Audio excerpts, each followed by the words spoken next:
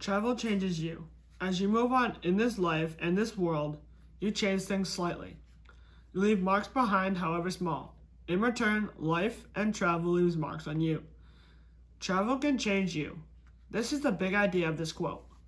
I have mostly traveled the eastern United States, including Florida, South Carolina, Washington, D.C., Pennsylvania, Rhode Island, New Hampshire, and Maine. This travel has mostly been family camping trips where we drive to the campgrounds and meet new people on each trip. Travel can help people overcome some of their fears. You can make happy memories and learn new things when you explore new places. You, you can meet new people and try new things. In my life, most of the marks that have been made by me are here in Weymouth.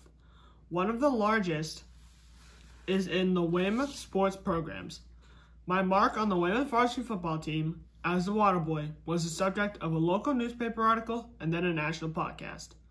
I have I have a handful of friends from the sports programs who have helped me and in return I've helped them. Marks on me include the Thanksgiving Day football game, where I was given the on where I was given the opportunity to wear the full uniform, participate in warm-ups, and lead the team onto the field, and was an honorary captain.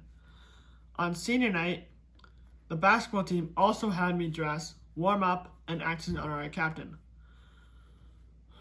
I recently was bullied by another student, and the basketball team came to my defense and stopped the bullying. Finally, I'm happy that I am going to senior prom with my friend Kelly. I look forward to the marks left on me and the marks left by me in Amsterdam, Germany, and France in April. Why is traveling to Amsterdam, France, Germany, and France in 2022 important to me?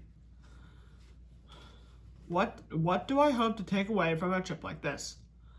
I have a, I have never traveled outside of the United States. This trip will give me new experiences and help me learn about the different about the different countries.